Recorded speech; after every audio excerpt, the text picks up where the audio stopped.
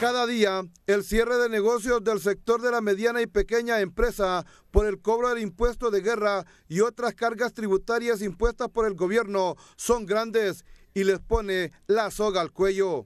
Nosotros abogamos por la formalización. En otras palabras, todo mundo deberíamos de estar tributando como un concepto de calidad de vida. ¿Qué significa eso? Que si nosotros retribuimos al Estado, el Estado nos va a retribuir tanto en educación y en seguridad, que son los temas fundamentales por los cuales estamos en esa situación de pérdida empresarial la misma costumbre que se ha tenido de la no formalidad es la que está haciendo que muchas empresas al querer después formalizarse se dan cuenta de que no pueden porque no han medido realmente sus costos operativos y esos son uno de los fundamentos que los hace desistir de continuar en un proyecto productivo.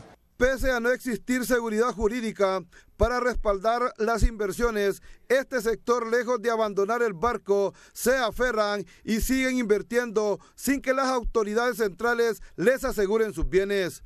En cuanto a los microempresarios, sí, eh, hay problemas con algunas empresas grandes que vienen a hacer inversiones y todavía no están muy seguros con lo del sistema tributario y lo de la eh, tenencia de la tierra en ciertos eh, pues, lugares del país pero básicamente por, en este momento parece que sí.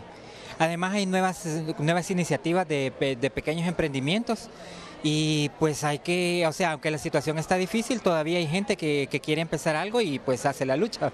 Según datos generales, en poder de los microempresarios, el 40% de este sector está cerrando por diferentes motivos, además que dentro de los costos fijos deben de presupuestar el porcentaje del pago del impuesto de guerra.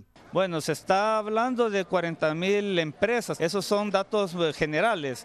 En realidad creo que se cierran más iniciativas porque hay micros empresarios que empiezan un día una semana, prueban, pero ya la siguiente semana se dan cuenta de que ya les vienen, como dicen, a cobrar el impuesto de guerra, eh, los empiezan a amenazar, se dan cuenta que la competencia es capaz de, destruirlos poniéndole al lado una empresa nueva. Entonces, entre los mismos microempresarios también hay agresividad en pretender mejorar y eso lo lleva a ser eh, agresivos con la competencia. Sí, definitivamente. El primer problema es la inseguridad porque hay que poner, digamos, ya dentro de los costos fijos lo que sería el, impuesto de guerra. Hay muchas zonas donde se trabaja que es, es, como muy inseguro y las empresas ya no quieren crecer, quieren pasar más bien como a la sombra, quieren quitar sus rótulos, trabajar en su casa y eso los limita.